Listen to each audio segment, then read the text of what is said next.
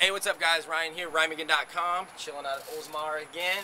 Um, what, I, what I want to talk to you guys a little bit about today is structuring your track practice. I know that sounds kind of odd. Most people just show up and practice and they just practice.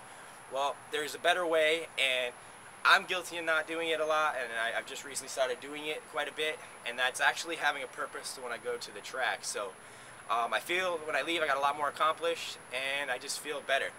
So I'm going to give you an idea what I mean by structuring your track practices is, you know, doing a certain number of gates, doing a certain number of first straights, doing a certain number of second straights, working on the rhythm for a little bit, or if you have any other trouble areas.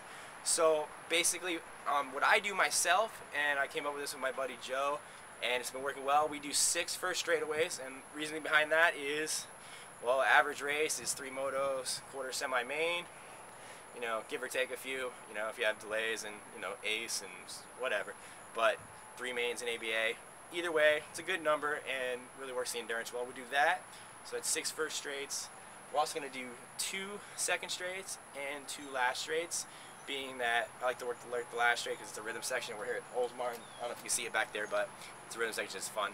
And then at, once I do that, then, you know, free to do whatever, work on whatever. But usually that takes about 45 minutes to an hour.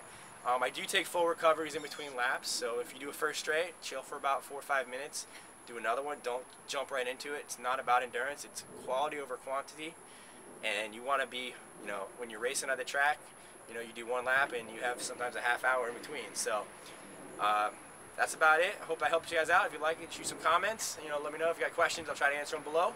Talk to you later.